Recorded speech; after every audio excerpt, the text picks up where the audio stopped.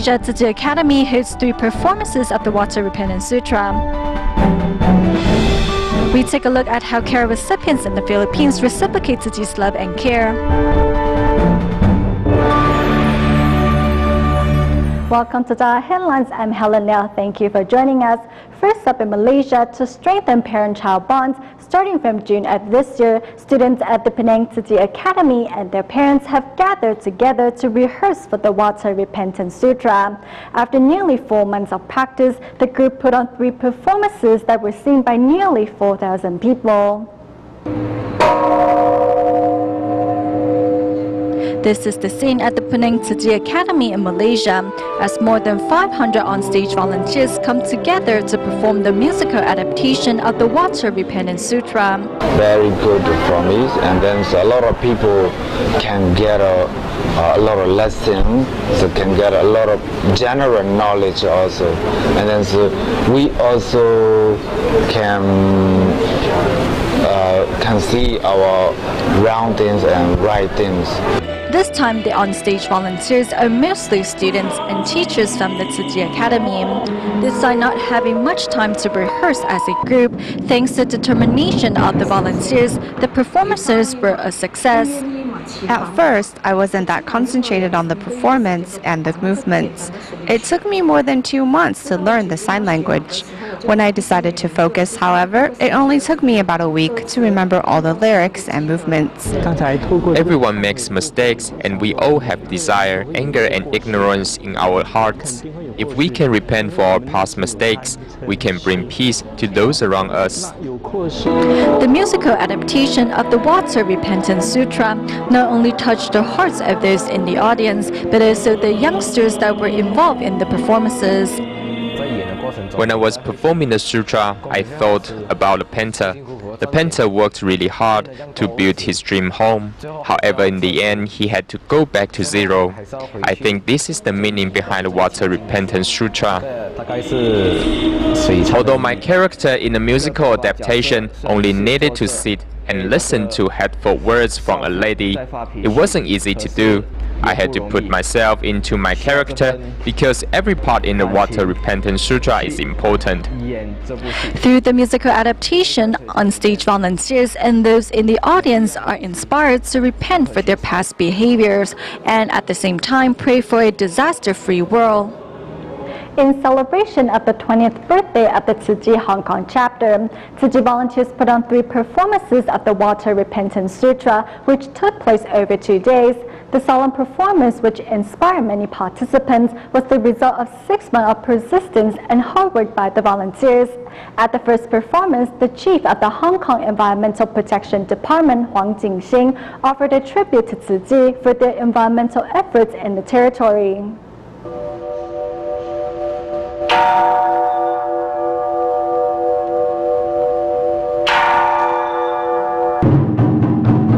sounding of the bell and the drums resonates with the heart and awakens the soul. As the Tzu Hong Kong chapter turns 20 this year, to celebrate this significant milestone, after six months of preparations and adopting a meatless diet, Tzu volunteers curtain the musical adaptation of the Water Repentance Sutra at the Queen Elizabeth Stadium in Wan Chai district. The 2,000 seats in the stadium were fully packed with religious representatives, government officials, academics, and local residents who arrived to celebrate this occasion with Tzu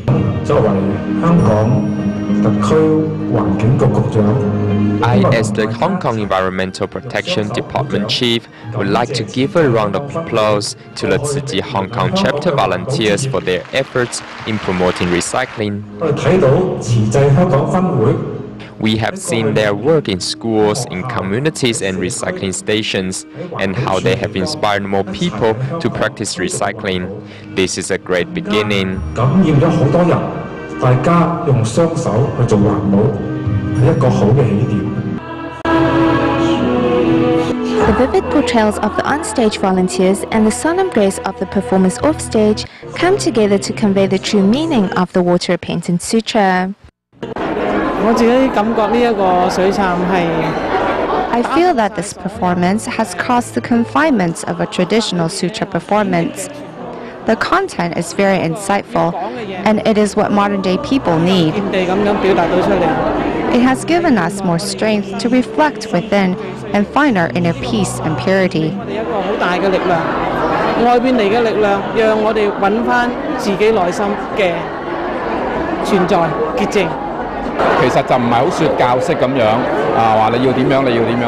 It's unlike other organisations which preach what you should or shouldn't do. Um, Instead, the performance has brought out a profound truth which is conveyed to participants through sign language.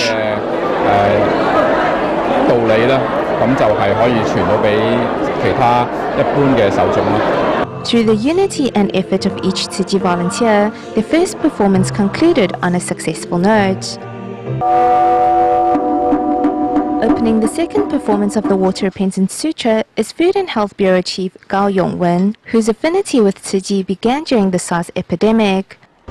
我希望呢,是同大家共勉 I hope we can encourage each other to practice the same love for Mother Earth as shown by the Chi volunteers and to practice respect and tolerance like the Chi volunteers and strive to do good deeds together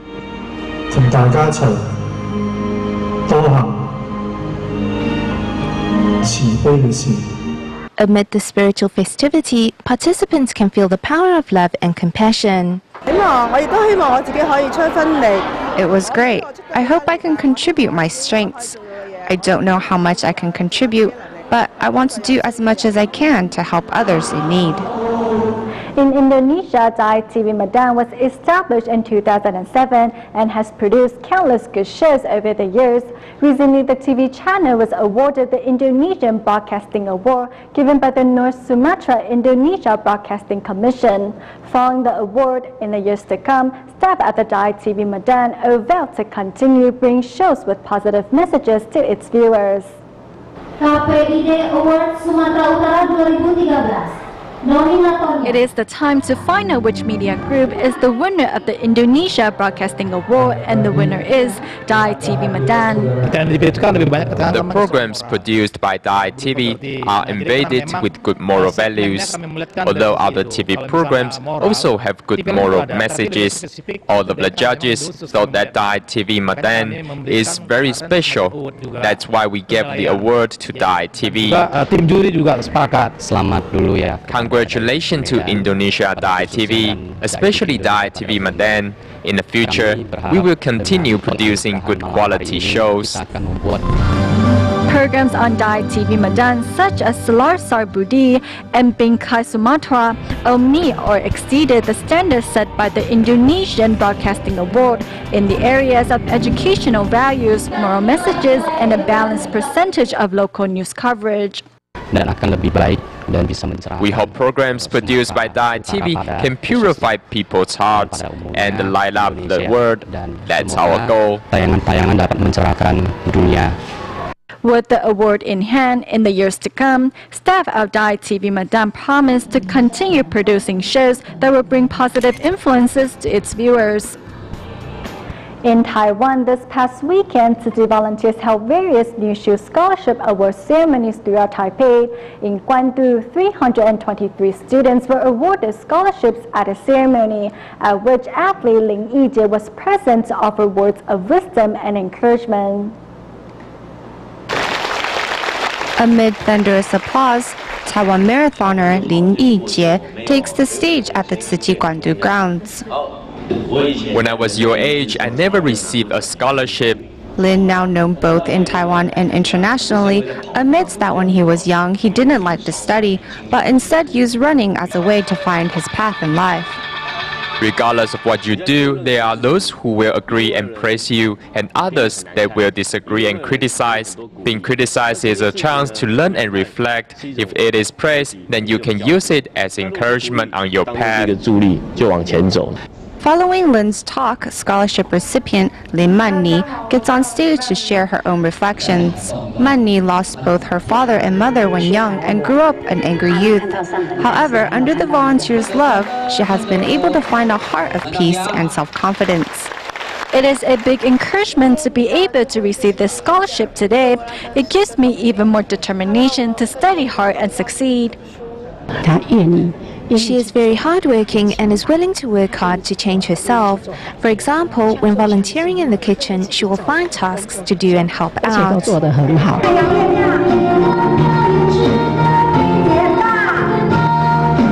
With their scholarships in hand, these students are now more motivated than ever to succeed both in their studies and life.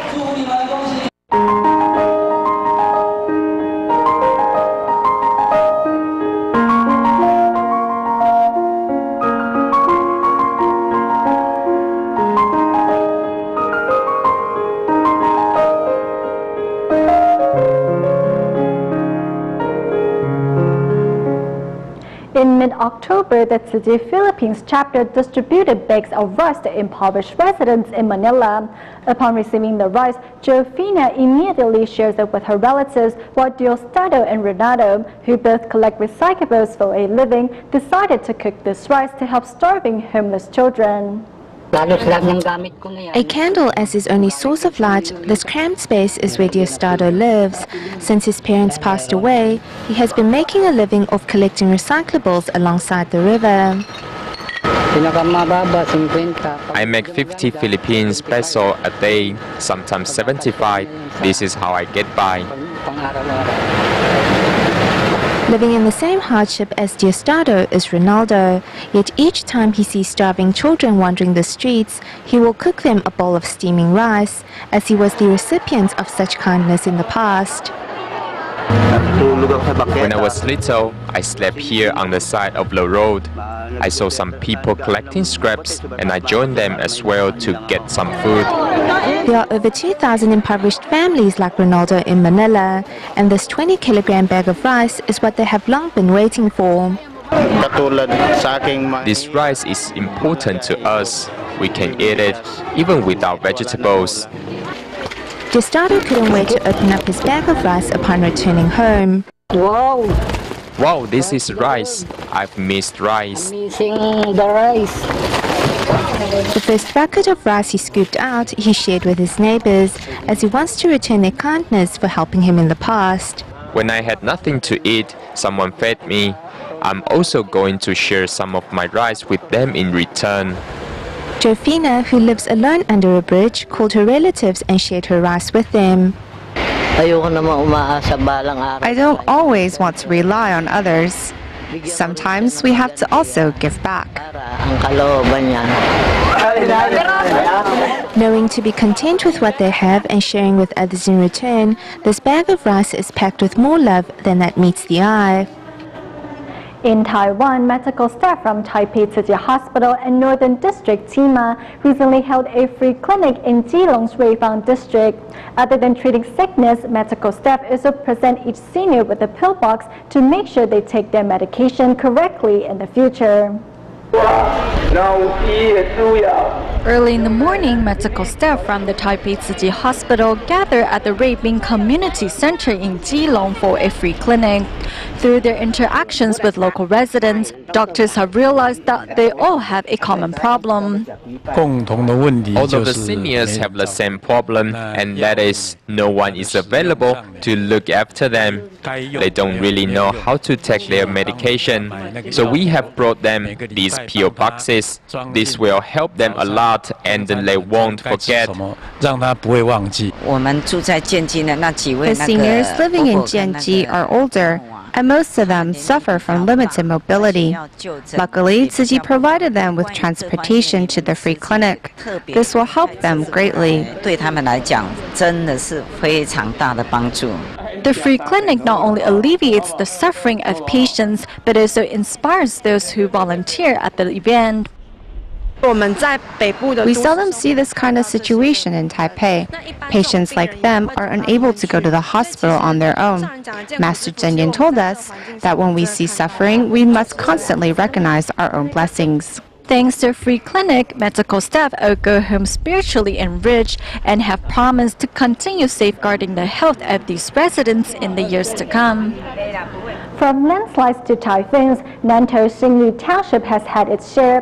In the aftermath of such natural disasters, local residents are often left stranded due to blocked roads. This means that residents needing medical attention are also left without access to medical help. To address this problem, the local government here built a public health center that's more like a mini hospital to meet the needs of local residents. 这是我老婆 this is my wife. From our house, it takes us about 20 minutes to get to the public health center for dialysis. So we leave around 7.30 in the morning.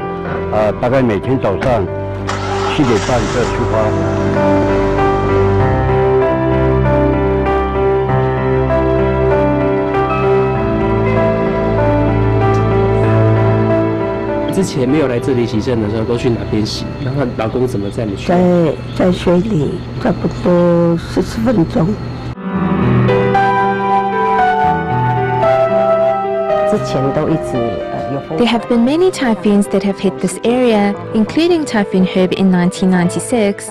After the disasters, patients couldn't leave to receive dialysis treatment. Of course, we were also concerned for the health and safety of our residents, so the local government thought to establish a local dialysis center here. Thus, four dialysis machines were purchased and two nurses hired.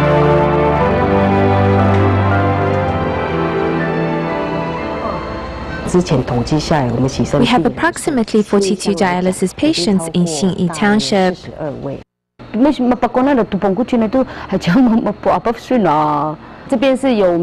For some patients, it puts them at ease to speak their mother tongue, and it's also easier for them to express themselves. Besides the dialysis center, the public health center in Xinyi Township also has another department to heal the ailing. What's special about our health center is that we also have a rehabilitation clinic. 复健科的门诊。 For residents who rely on physical therapy to recover their mobility, the increase in visits means a faster recovery. I was involved in an accident and I went to physical therapy sessions elsewhere, but there's a rehabilitation center here, so it's much closer for me now. 你看生，呃，后亮起来哈。 乡下地方年轻人都 There's a large population of seniors here and they mostly suffer from problems related to their long days in the farm fields or old age. 退化性的疾病。 For Xingyi Township residents, the center is a mini hospital. 因为卫生所不只是像一般 Our public health center isn't like others, but instead offers a large variety of medical services. We even have an emergency department, which is open nearly 24 hours a day. When residents come here, it's almost like going to a regular hospital. Next, we learn the story behind the collection of meteorological data and meet a group of professionals working at weather stations across Taiwan to see how they devote themselves to recording weather information on a daily basis. Observing weather conditions from a rooftop is one of the tasks of a weather observer. Around 10 minutes later, our collaborators around the world will get the meteorological data from here in Taiwan, including pressure, temperature, and cloud cover. Cloudy skies show a variety of information that only a professional can spot. At midnight or dawn, the observers have to repeat the routine no matter how cold it may be. We need to know the current meteorological data before generating weather forecast reports. As a weather observer, we are on the front line of observing potential weather conditions. Part of our job is to help alert members of the public to any natural disaster prior to its happening. This is not only a job, but a responsibility. In Taiwan, there are altogether 25 staffed weather stations. Every three hours, the stationed observers have to input observed meteorological data into a computer, which will then transmit the information to the Central Weather Bureau. Other than the manual recording of weather information by observers, much of our meteorological data is automatically recorded by various meteorological apparatuses throughout the day. Countless staff members are involved in the maintenance of these apparatuses and the processing of weather information. In fact, a weather report is the result of the collective effort of many people. For grade 2 and grade 3 stations, weather observations must be made once every three hours. As for the smallest grade 4 stations, due to their limited manpower and resources, the two midnight observations are cancelled. Working at the grade 4 station is different than working at larger stations. You have to live there for a month and work on your own to document weather data. Lin Jianquan, a weather observer with seven years of experience, spent three years of his career at the Yushan weather station. Over each monthly shift, he and two other technicians worked as a team to support each other through the severe working conditions and time away from their families. The weather observers sacrifice time with their families in order to distribute Taiwan's meteorological data to the world. I'm interested in observing the weather, so this is a perfect job for me. You have to figure out how to overcome the difficulty and do your best to adapt to it. Behind each meteorological report is the hard work of countless people. And for the ongoing work they do, these unsung heroes deserve the attention and respect of members of the public. Chi volunteers in the United States continue to bring Jingsi aphorisms into hotels throughout the U.S. Recently, volunteers expanded the scope of their mission by planning to bring these words of wisdom into the prisons of Los Angeles County in California. Meanwhile, several members of the Los Angeles Police Force visited the Chi U.S. headquarters to learn more about the Buddhist NGO. Tzu Chi volunteers introduced the missions and essence of the foundation to visiting Los Angeles police officers, who in turn had much that was good to say about the organization. Amazing. I mean, joining partnership is simply great because there's a lot of things that The officers were also impressed by Tzu Chi's commitment to recycling and the protection of the environment. site then, or did they just do it up to the top of the board? And were further amazed by the fruits of the recycling work. Incredible! Ah, it's incredible. This is great. Riverside County, Orange Riverside County, Orange County, and LA City, they are all reviewing our case.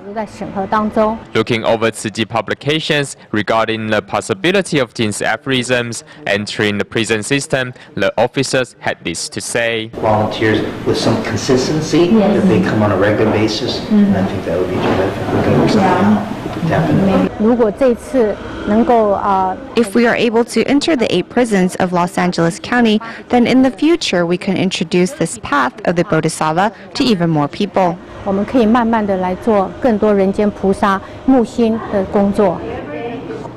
We go to China at the end of the show to help those devastated by Typhoon Fitow. City volunteers are currently holding the second round of aid distributions at the Far East Industrial Park in Zhejiang's Yuyao City.